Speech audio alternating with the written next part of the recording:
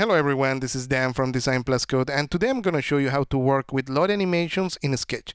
So let's begin.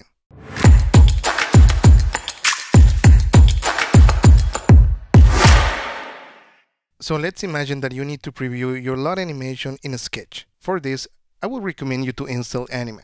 Anima is a free plugin available for Sketch and XD, and very soon it will support Figma as well. So the first step to install their plugin is to go to their website at animaapp.com. Then scroll all the way to the bottom of the landing page and click on Download.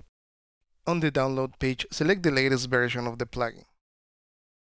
Then to install the plugin, just open the download folder and double click on it. And click OK. Okay, let's go to our sketch file. And over there, what we need to do is to create a placeholder. And we will use this placeholder to add our Lottie animation. Okay, press R on your keyboard so we can add a rectangle. Okay, now let's change the width and height of the rectangle. Like that we can keep a proportion of the Lottie animation. Let's give 300 to the width and 282 to the height. And then let's center the rectangle. We don't need the borders of the rectangle so we can uncheck that box. Then on the Anima settings panel, I can click on the bottom Video GIF Lottie. A small pop-up will prompt and over there you can paste the link of your Lottie animation.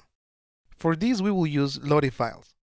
Lottie Files is an awesome tool. It has an extensive library of Lottie animations, and their team created all the different Lottie plugins that we use in the most popular design tools. In our case, we will use Lottie Files so we can generate a URL. Like that, we can use that link in our sketch file.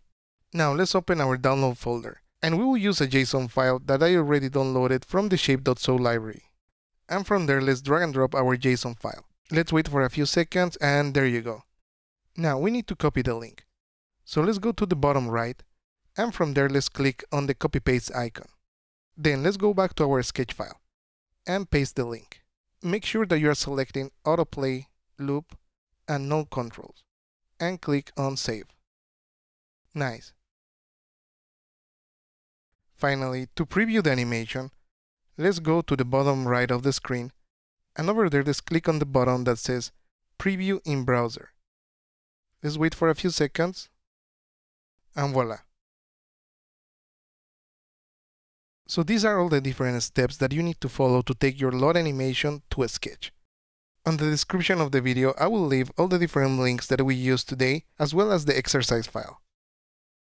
So this is the end of the video. If you guys like it, please give us the thumbs up. Don't forget to subscribe, and you can click on the bell icon to be notified of our latest videos.